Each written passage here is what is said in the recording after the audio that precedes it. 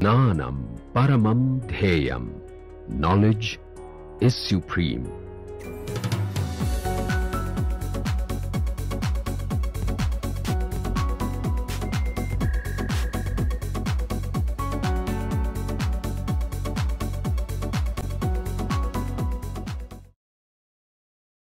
Let us now look at what are the different elements of a control system and we will work with this same example.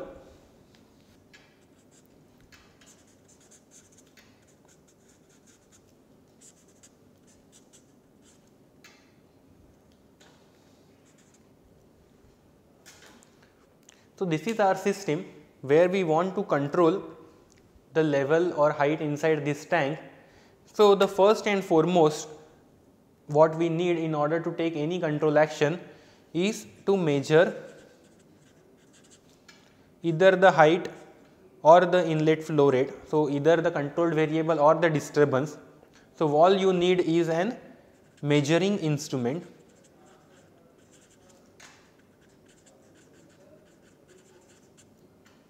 So, the first thing which is required is a measuring instrument which would measure either the controlled variable or the disturbance variable.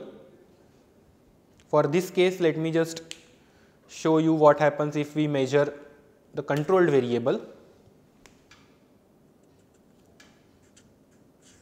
So, this is a level indicator which will measure the height. So, once we measure what is the height inside this tank in order to take the control action what we need to know is what is the desired value of the height and you would compare whether my current value is higher or lower than the desired value. So, you generally find out an error between the desired value and the current value and based on the value of this difference if the difference is 0 no action has to be taken. If the desired minus the current value is higher or is positive then you would reduce the outlet flow rate so that the level will keep on increasing and the error will go on reducing or if the other way around then it is a vice versa. So, your control action or the controller would work on this error signal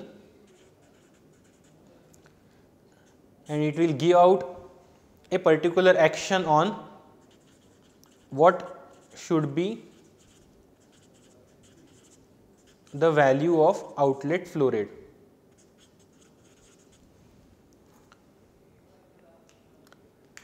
But again this controller is an electric uh, electronic piece of equipment just by saying this is the value of the outlet flow rate it the process is not going to adapt that value.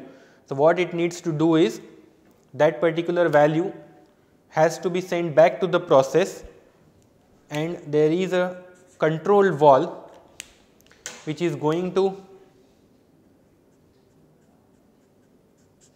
so this controller will then talk with this controlled valve change its opening either it will open the valve or close the valve so that the desired value of f out is maintained.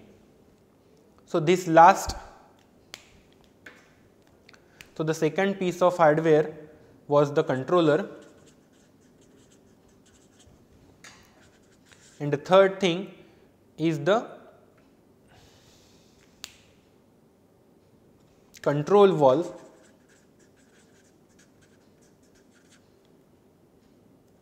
which is going to implement the action given by the controller. So, these three are the elements of the control system. Now, when you talk about the measuring instrument and the control valve, these generally become part of instrumentation and controller will become part of the process control. This controller may be a manual controller or it may be an automated controller. So, we will close this lecture with the last distinction or the last type of uh, information which is what are the different types of control problems which are solved in process control.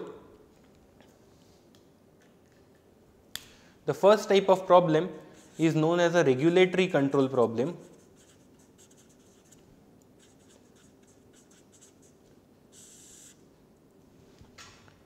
wherein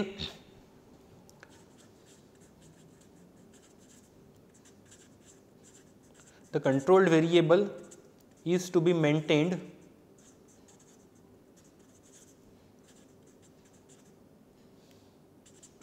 at a constant desired value or a set point.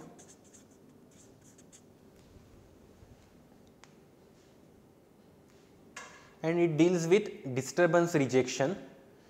The examples being the surge tank which we had considered where the height was to be supposed to be maintained at 50 percent or the pressure cooker where the pressure has to be maintained at a certain value.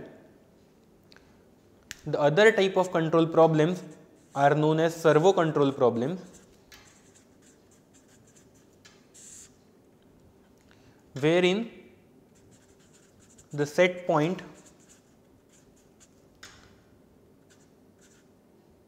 changes